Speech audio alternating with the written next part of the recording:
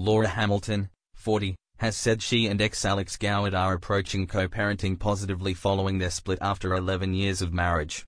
The A Place in the Sun presenter and her ex, who she remains friends with, share two children together, Rocco, 8, and Talia, 7.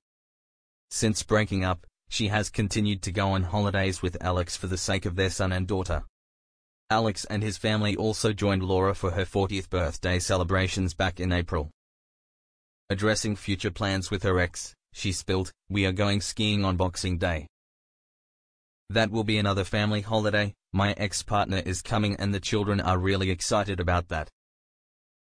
It's good. We can't wait. Laura is yet to speak of the reason why they split, although a source claimed the pair were at breaking point during lockdown.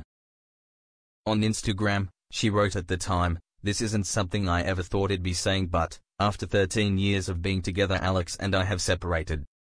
Our children are and always will be our number one priority and we would respect privacy for our family at this time.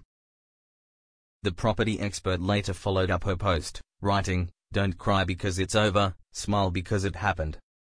Laura has since been focusing on renovating a new property for her and her children which she bought after their split. On potentially finding love again, the presenter added to The Sun, I honestly haven't thought about that. I haven't got time for that, I'm too busy renovating the house. Laura has however been receiving some unwanted attention online, as she adds, during the pandemic someone sent me a picture of what I thought was them in a face mask, but it was a face mask covering their private parts and a string up their bum. Whenever I get anything like that, anything really inappropriate, I just delete it and block them. I don't know why people think I would like that. Laura went on to say that friends in the industry, such as Tamsin Outhwaite and Tess Daly, have given her support since her breakup news. She continued, I feel like the older you get as a woman there is a network of women that rally around you.